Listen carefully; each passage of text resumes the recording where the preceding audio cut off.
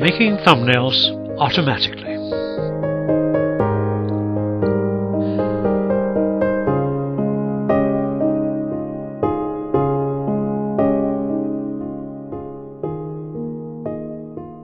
The first thing we have to do is to create a new folder. We will drag the images we want to use, in this example we have 16 pictures, into the folder.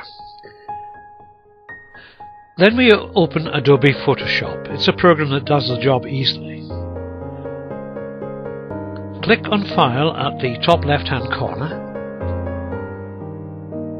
This will bring up a column. In this, select Automate, and this action will open up a second column in which you should select Contact Sheet 2. This takes you to the contact page where you organize thumbnails. Since in our example we're using 16 pictures, we'll select 4 columns and 4 rows.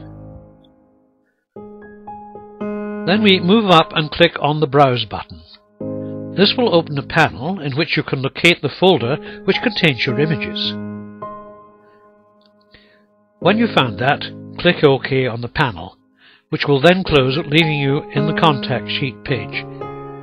This will now contain the link details.